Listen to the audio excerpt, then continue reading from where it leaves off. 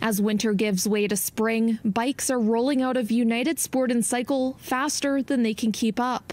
For us, what's different this year is that we actually have some bicycles to sell. The past two years have been difficult for the store due to supply chain issues that made it hard for them to have enough bikes for increased demand due to the pandemic. A lot of people are just grabbing a bike because they just want to stay active. Glenda Neufeld has been biking as long as she can remember. I love the scenery and I love the uh, going out with family and friends and just enjoying the outdoors. Today, she was in the market for a new ride.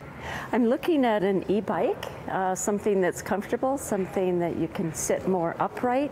The warm weather isn't the only thing driving up the demand for bikes. With gas prices at an all-time high, some commuters are ditching their gas-guzzling vehicles for a cheaper option. Uh, gas prices, that is something lately people have been bringing up. It's significantly cheaper to, to use a bike to travel than, uh, than a automobile.